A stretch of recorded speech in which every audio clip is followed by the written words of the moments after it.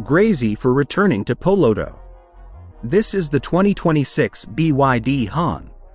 In 2026, BYD Auto's most popular electric vehicle, the BYD Han, will most certainly get a plethora of upgrades. The BYD DiPilot 300 AI system is standard on the Han 2026 and includes a panoramic camera, lidar, high-precision radar, and an NVIDIA Orin X CPU with 254 TOPS processing power. Many autonomous driving functions, such as city routing and valet parking, rely on this technology. Comes with a strong electric motor that effortlessly reaches high speeds. Designed with long-distance travel in mind, it boasts an impressive battery life. Rapid charging technology has made it possible to charge batteries very quickly. The BYD Han 2025, a state-of-the-art, eco-friendly alternative for a high-end electric sedan, has undergone extensive renovations and is now prepared to compete in the global electric vehicle market, including Indonesia. Design In terms of both design and technology, the BYD Han 2026 represents a giant leap ahead.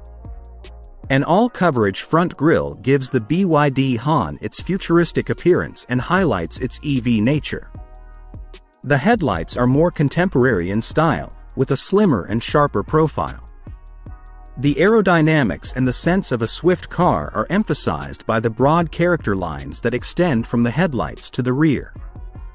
The BYD Han 2026 is characterized by a fastback silhouette, achieved by combining coupe proportions with a gracefully sloping roofline. It looks sturdy and sumptuous because to its long wheelbase and minimal overhangs. The vehicle's muscular and contemporary design is complemented by its unusual full-width taillights. Improved visual appeal is a result of the redesigned taillights.